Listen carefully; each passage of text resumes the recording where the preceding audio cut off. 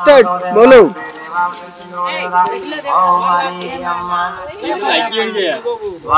ये ग्राम। मांगरोर नहीं में लाल जी नायक यहाँ पे ये सर पाया हुआ था। ये भोजन की तलाश में था, कुछ भोजन मिलेगा खाने को? तो अभी तक इसने कुछ नहीं खाया, इसके पेट में कुछ भी नहीं मिला। ये इधर उधर घूम रहा था। मकान के अंदर। शुक्ला पड़ा हुआ था, इसके नीचे घुस गया तो करंट भी छोड़ा, सब कुछ करा लेकिन ये दूसरी जगह जाके छुप गया। ये सर्प, नीलम सर्प कहते हैं। ये नीलम सर्प है। ये गाय, भैंस, आदमी को काट ले तो पंद्रह सोलह मिनट की अवधि के अंदर भगवान ये घर मेहमान बना देता क्योंकि ये जहरीला बहुत है। ऐसे तो नौ प्रकार की जाति होती है, फणी, कोबरा, भुजंग सरनिया कूदनिया, चटका चालना उड़िया पदम, चंद्रमुखी और ये नीलम साहब। ये काटने के उपरांत आठ से सोलह मिनट की अवधि देता।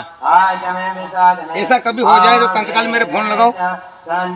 किसी भी आदमी को, जानवर को मनुष्य को काटे तो गन से मंत्र दूँगा।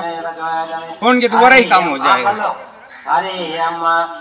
और कभी ज़्यादा कम होगा तो दवा पिलाएँगे। बोली दस कोस, पच्चीस कोस होगा तो चला जाऊँगा। वैसे नहीं लगेगा, कोई दो अगरबत्ती का दवा पिलाने का, मंत्रने का कोई पैसा नहीं लगेगा। सब धर्म का काम ही रहेगा।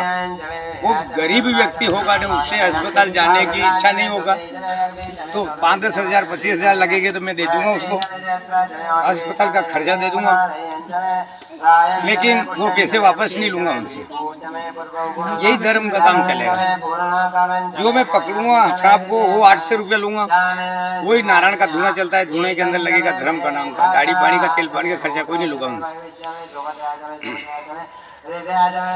वैसे तो उल्टा सीधा काम करे कोई। तो गाँव का जैन छोड़े ले आवे, तोड़ कर लावे उनको। पर इसका तोड़ कोई नहीं करता। इसका तोड़ करने वाला नारायण दो अगरबत्ती में कर देगा दो अगरबत्ती के अंदर तोड़ कर देता है नारायण। लेकिन वही सच्ची भावना से। एक तो कारा कपड़ा वाला और दारू मांस मदिरा खाओ वाला उन्हें आदमी के मेरे नड़े। एक ऐसी वैसी औरत उसके पास में नहीं अड़े तो बाकी वो बाल हो जाएगा। ऐसी वैसी काम करोगे तो फिर बाल नहीं होगा। मंदिर भी झूठा होगा दवा भी झूठी हो जाएगा। लेकिन इतनी